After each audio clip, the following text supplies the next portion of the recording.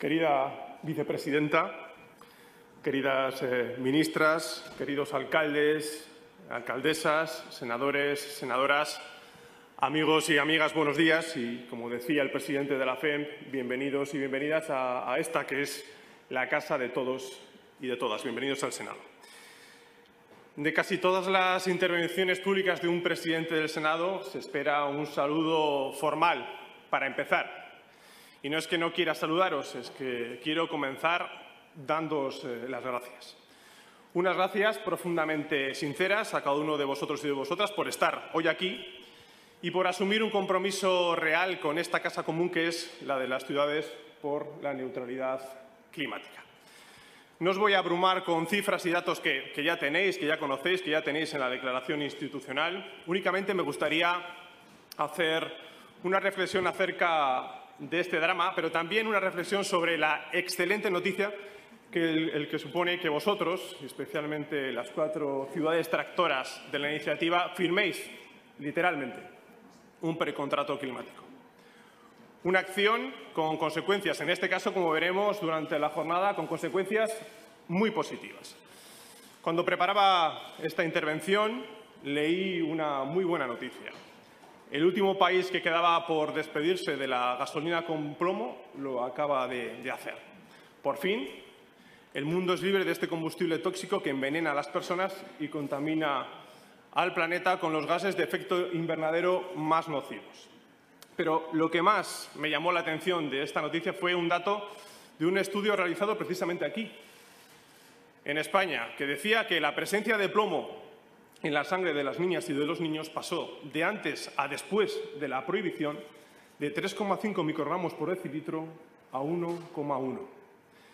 Lo que quiero decir es que cuando hablamos de luchar contra el cambio eh, climático, contra el calentamiento global y el daño a la capa de ozono, en verdad, también, también estamos hablando del daño a la salud y la integridad de las personas, especialmente de las niñas y de los niños de hoy. Por eso quería comenzar dándoos las gracias, porque el precontrato climático no lo firmáis solo entre vosotros, no solo lo firmáis con el Gobierno o con las instituciones europeas, lo firmáis con vuestras hijas e hijos. Es un magnífico ejemplo de solidaridad intergeneracional y de respeto al futuro. La segunda cosa que quería traer hoy aquí es el valor, el valor de lo local. Lo comentaba el presidente de la Federación Española de Municipios y Provincias, lo comentaba también la vicepresidenta. Todas y todos hemos oído una afirmación que, desde luego, comparto, que hay que pensar en global y actuar en global. Efectivamente, es así. Pero eso, eso ya lo sabíamos en el ámbito municipal hace, hace muchos años. En la ciudad, la acción política y sus consecuencias no puede ser ajena a cada vecina y a cada vecino. Es decir, la responsabilidad es la misma, pero emocionalmente tiene un mayor impacto y la rendición de cuentas, lo sabéis muy bien, es más cercana, es más de tú a tú, es cara a cara. En España, cerca del 80% de sus habitantes vive en las ciudades. De ahí la trascendencia de la manera en que orientemos la lucha contra el cambio climático precisamente desde lo local. Las grandes políticas se deciden, es verdad, en lo global y es lógico, pero se ejecutan en lo local. Por eso es tan trascendental el papel de los representantes de las ciudades en la transformación y en la recuperación del país. Os lo dice alguien que comenzó su carrera política hace ya algunos años como concejal de un pueblo de menos de 4.000 habitantes del norte de la provincia de Burgos. Y la tercera reflexión, muy relacionada con, todo lo anterior, se refiere a cómo actuamos. Podemos hacerlo cada uno a nuestra manera, solos, como si fuéramos islas o electrones libres, o podemos hacerlo, podemos hacerlo juntos, como lo estamos haciendo ahora. La experiencia nos ha enseñado recientemente que ante grandes desafíos de esta envergadura la colaboración es necesaria. Es más, yo diría que es una exigencia. El desarrollo sostenible e inclusivo de las ciudades solo es posible desde el esfuerzo común y desde unas políticas orientadas a ese fin, sin exclusiones ni brechas y contando con todos, con todos los territorios. Más allá de estas eh, tres reflexiones, tengo que deciros que, que, soy optimista. Creo que la ambición climática se puede elevar porque eh, en esta empresa todos, sectores eh, productivos, representantes sociales, partidos políticos y ciudadanía, debemos, debemos ponernos de acuerdo. El presidente del Gobierno lo expresó así hace unos meses, eh, tanto al analizar la emergencia climática como al planificar la reconstrucción tras la crisis generada por la pandemia de la COVID-19.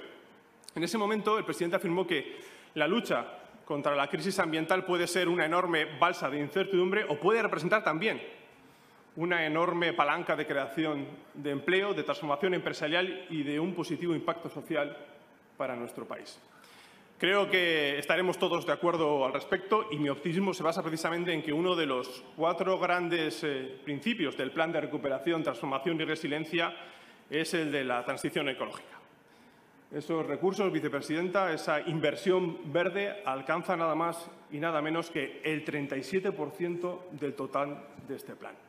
Es decir, que contamos con la iniciativa, contamos con los actores comprometidos y con los recursos. Por tanto, la acción está en nuestras manos.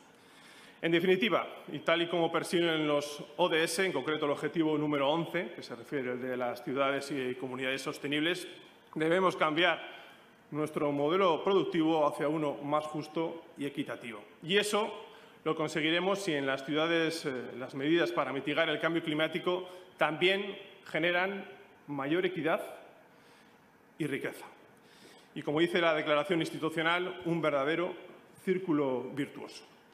No quiero extenderme más, simplemente una... quería haceros una petición eh, final. Hagamos, hagamos a nuestros vecinos y vecinas militantes de la acción climática. La concienciación de la ciudadanía empieza en la casa de cada uno y cada una y en la ciudad y el pueblo de cada uno y de cada una. Transporte público, uso de la bicicleta, reciclaje, uso de las energías renovables, consumo responsable, todo ello es el primer paso hacia la neutralidad climática. Alcaldes y alcaldesas, el planeta entero nos exige nuestra ayuda para revertir o paliar los problemas que nosotros mismos hemos causado. Los desafíos para 2050 se tienen que responder desde ya.